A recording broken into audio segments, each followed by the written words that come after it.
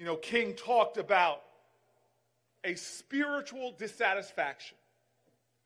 We are dissatisfied that we live in a nation where, as my friend says, you get a better justice system if you're rich and guilty than poor and innocent. We are dissatisfied. This is not a time for us to rest in our country. The work is not done. The dream still demands. The call of our country is still loud. And the question is are we dissatisfied?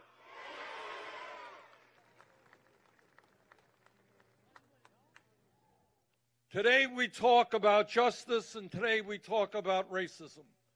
And I must tell you, it gives me no pleasure to tell you that we now have a President of the United States who is a racist. And we have a president intentionally, purposely, is trying to divide us up by the color of our skin, by our gender, by the country we came from, by our religion.